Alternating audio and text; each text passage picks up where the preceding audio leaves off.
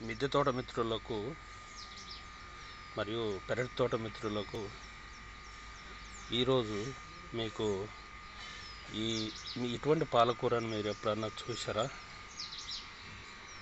కనీసం ఒక ఆకు వెడల్పు ఆరు ఇంచుల వరకు ఉంటుంది ఈ పాలకూర. చూడండి ఎట్లా ఉన్నది ఇంతవరకు మీరు ఇటువంటి పాలకూరను చూసి ఉండవచ్చు. మార్కెట్లో కూడా ఎక్కడ ఇది లభించదు. దీనిలో మనము సాయిల్ మిక్సింగ్ వచ్చేసి కోకో పీటు ప్లస్ అది వర్మీ కంపోస్టు పశువుల ఎరువు. వీటితోటే మనము వీటిని పెంచడం జరిగింది. ఈ ఇవి చాలా బాగా వస్తున్నాయి